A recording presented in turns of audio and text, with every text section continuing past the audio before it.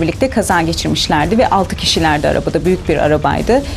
Ee, ve İngiliz bir avukata gitmişlerdi Kuzey İngiltere'de. Ee, diğer taraf suçu kabul etti, ihmalkarlığı kabul etti fakat bu arabada sadece 4 kişi var dedi. Ben müvekkilleri gördüğümde doğru söylediklerini anladım. Çünkü müvekkille, müvekkille konuştuğunuzda görüyorsunuz. Müvekkil dedi ki "Hayır, biz 6 kişiydik ve biz cenazeye gidiyorduk dedi. Ve diğer, diğer adam zaten yaşlıydı, gözlükleri vardı falan filan. Biz davayı araştırdığımızda cenaze evinde 11 kişiden ifade almak zorunda kaldık ki kazadan sonra arabayla geldiler. Arabada zarar vardı. Hepsi arabadan indi diye. O yüzden 2 yıl sonra dava başarılı oldu ve müvekkiller bize çok yani e, e, e, teşekkür etmişlerdi. Çok memnun kalmışlardı. O aileyi hala görürüm yani. Kuzey Londra'da orada burada görürüm. Peki bu müvekkiller ne kadar aldılar? E, Şimdi arabada 6 kişi vardı. 2000 poundla 14 pound arasında değişen rakamlarla tazminat aldılar. Bize vermiş olduğunuz bilgilerden dolayı size çok teşekkür ederiz. Ben teşekkür ederim.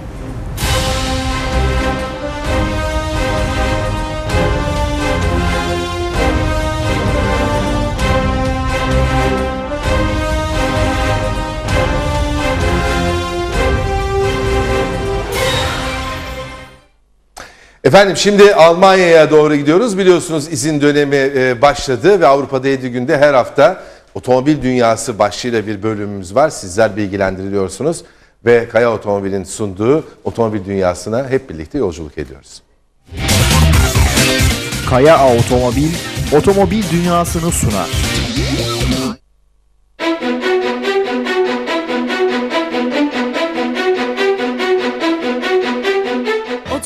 Dünyasının nabzını Kaya Otomobil ile tutmaya devam ediyoruz. 20 yıldır Philipsburg ve çevresine hizmet veren Kaya Otomobil'in sahibi Nihat Kaya'dan bu hafta otomobil bakımı konusunda önemli bilgiler geldi. Bildiğiniz gibi tabii ki e, yeni araçlarda bu e, mümkün değil. Yeni araçlarda e, kesinlikle ve kesinlikle servise gitmeniz gerekiyor. Çünkü günlük servisi geldiğinde bilgisayara girmesi gerekiyor araba ama 4-5-6 yaşlardaki arabalarda hele mazotlu arabalarda şunu dikkat etmenizi rica ediyorum. Kesinlikle ve kesinlikle zincir veya da kayış olan motorlardaki bazı arabalarda zincir vardır. Bazı arabalarda kayış vardır. Bunu kopardığınız an zincir önemli değil de kayış olduğu zaman koptuğu an motoru e, kafayı kırar. Bunun için de sizlere çok büyük bir masraf açar. E, bunların 100, 100 civarında arabasına göre değişiyor. Bu bilgiyi de tabi servislerden alabilirsiniz. Gidip bu kayışı e, günü dolmadan e, değiştirmenizi arz ediyorum. Yağ konusunda değişik değişik yağlar var.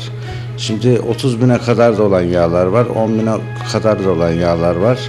Ee, pahalı yağlar 30 bin civarına kadar da giden, 40 bine kadar giden yağlar da var. Tabii eski arabalar 10 bine kadar e, yağını değiştiriyorsa bu 10 bine kadar da değiştirmesinde, her 10 binde değiştirmesi gerekiyor. Bunu yağ değiştirdiği yerde hangi yağ olduğunu ve kaç e, kilometre ömürlü olduğunu bu yağın öğrenmesi gerekiyor. Ona göre de tabii e, günü dolduğunda yağını değiştirmesi gerekiyor.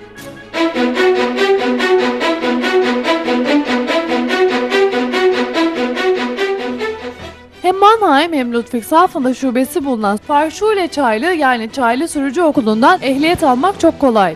Çaylı Sürücü Okulu'nun sahibi ve eğitmeni Metin Çaylı bu hafta araç kullanırken nasıl yakıt tasarrufu yapılabileceği konusunda bilgiler verdi. Tasarruflu araç kullanmak günümüzde zaten çok önemli. Yani e, gün geçtikçe akaryakıt problemi çoğalıyor. E, petrol gittikçe azalıyor. Bu bakımdan e, tasarruflu kullanmak zorundayız. Öyle söylemek lazım. Aracı çalıştırmamızdan kalkışlardan ve ani frenlere kadar yakıt tüketimine birebir etki yaptığını belirten Çaylı şunları da ekledi. Tasarruflu kullanabilmek için ileriye gör, ilerisini iyi görmek lazım. İleriyi e, öngörüşlü araç kullanmak lazım. İlerisini iyi görürsek o zaman ne zaman fren yapacağımıza, ne zaman gaza basacağımıza e, daha iyi karar veririz ve bu da fazla hızlanmaktan, birdenbire frenlemekten kaçınmak demektir. E, bunu tabii fazla hızlanmadığımız zaman da, birdenbire frenlemediğimiz zaman da daha iyi tasarruflu araba araç kullanmış oluyoruz. Eğitmen Çaylı ayrıca araç kullanırken çevre bilincine uygun olarak nelere dikkat edilmesi konusunda da bilgiler verdi. arabamızda işe yaramayan yani gerekli olmayan her an ihtiyacımız olmayan şeyleri taşımayacağız. Mesela Diyelim ki izin sezonunda izine gittik. Sonra bagajımız var arabamızın üzerinde. Onu da sökmemiz lazım. Bu bagaj ağırlık yapıyor. Rüzgara engel oluyor. Fazla akaryakıt tüketimini e, çoğaltıyor. Fazla akaryakıt tüketimini e, olmuş oluyor bu, bu bakımdan. Mesela arabamızda su kasaları diyelim mesela. Su kasalarını boşu boşuna gezdirmeyeceğiz. Dolduracağız ve arabamızı boşaltacağız. Sonra fazla gaza basmaktan, birdenbire sert fren yapmaktan, e, kısa mesafelerle mesafede araç kullanmaktan, e, mesela lambada durduğumuz zaman gazla oynamayacağız. Bunlardan kaçınmamız lazım. Kaya Otomobil, otomobil dünyasını sundu. Evet efendim Avrupa'da 7 gün bütün hızıyla devam ediyor ve e, ekrana gelecek telefonlarımızdan e, te- telefonlarımızdan bizi arayanlara e, arayanlardan daha doğrusu hepsine dersek çok olur. 10 kişiye David Gerenzo'dan tişört var hatırlatalım ve şimdi telefon attığımızda Serpil Dölek var Avusturya'dan arıyor e, sanıyorum Deva için. İyi akşamlar Serpil Hanım. İyi akşamlar. Buyurun efendim. Hepinize merhabalar. Merhabalar efendim. Ben Avusturya'dan arıyorum. Ee, Deva için aramıştım. Evet hemen e, biz sizi Güner Çakıroğlu Deva Yönetim Kurulu Başkanı baş başa bırakalım. Buyurun Tamam. sorun sorunuzu.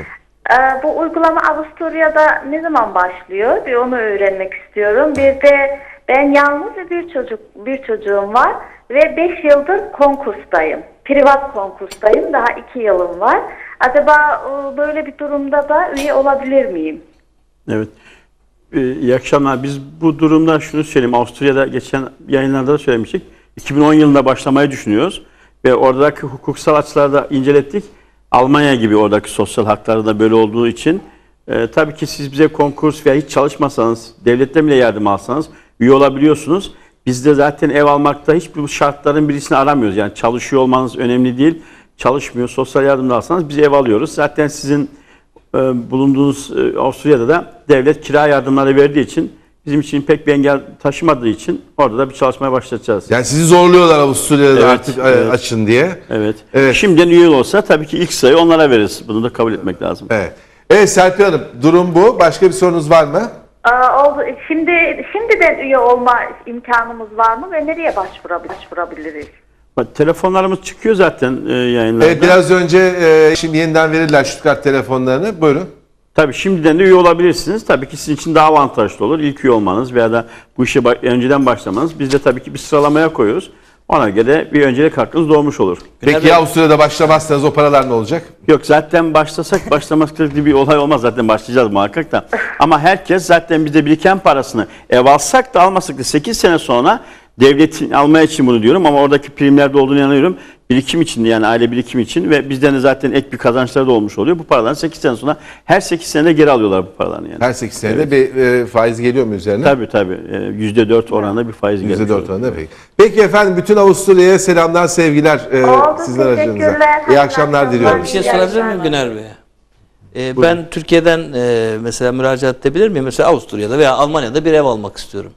Sizlere özel bir proje uygularız. Ha, yani şimdi yok şimdi Türkiye'den de izleyenler var. Var, ben çok izleyenler var da şu anda. yani şimdi çok böyle o kadar güzel anlattınız ki Evet. hep de burada hatta Aylin Hanım'la konuşuyoruz. Biz konuşuyoruz da fısır fısır ne yapalım, kaça Şimdi alırız, nasıl Bu yaparız? konuda şunu düşünmek lazım. Tabii biz Türk hükümetinin de bu konuda yani buradaki paraların yurt dışına çıkmasını e, çıkmaması için e, düşündüğümüzden Çıkartırız, dolayı çıkartırız. biz öyle bir şey söylemiyoruz ama tabii ki insanlar türlü- insanlar yatırım yapabilir. Yatırım olur. adamlarımız da sonuç olarak Rusya'da, Almanya'da, Tabii. orada burada yatırım Yani yapıyorlar. Şunu söyleyeyim işte demin e, biz 36 bin euro aldığımız bir evi 750 euro kira getirse hiçbir masraf olmadan böyle bir, Ya. bir parayla bir emeklilik ömür boyu bir emekliliğiniz Gibi olmuş oluyor. ya. Yani tabii Türkiye'deki için çok güzel bir şey bunlar ondan sonra. Almanya'da e, herkes Türkiye'den ev sahibi olabilir. İster vizesi olsun olmasın, köylü vatandaşı bile olsa fark etmiyor. Yani herkesin bu hakkı var yani olsa. Anladım. Çünkü bizde nasıl mülkiyet alma hakları Almanların varsa bizim de orada alma hakkımız var. Oraya gitmenize bile gerek yok. Buradaki noter aracılığıyla otomatikman yapıyorsunuz zaten. Aa, çok iyi. Bir de bir şey daha soracağım. Sizin bu üyelikleriniz her ay size para mı ödeniyor? mı ödeniyor? Tabii evet. öyle ödeniyor. Her her ay ömrümüzün sonuna kadar. Hayır hayır hayır lütfen dedi. Ha, bir onu da öğreneyim. Şimdi bizim bize- üyelikle mi vereceğiniz bu evleri üye olmadan mı alacağız? Ama bakın Aylin abi dedik programdan sonra konuşacağız. Onu bir iyilik yapacak bize Güner. evet. Tabii. Yani bir kere bizden üyeliği bir kaldıralım. Canlı yayında pazarda. Yatır parasını peşin verirse. Peşin verirseniz üye olmanıza gerek Aa, yok. Tamam Evet, tabii biz peşin veririz Peşin veririz. Tamam, Tamam. e, Demek ki e, masanın bu tarafında e, euro durumu iyi. Ekonomik kriz oraya vurmamış.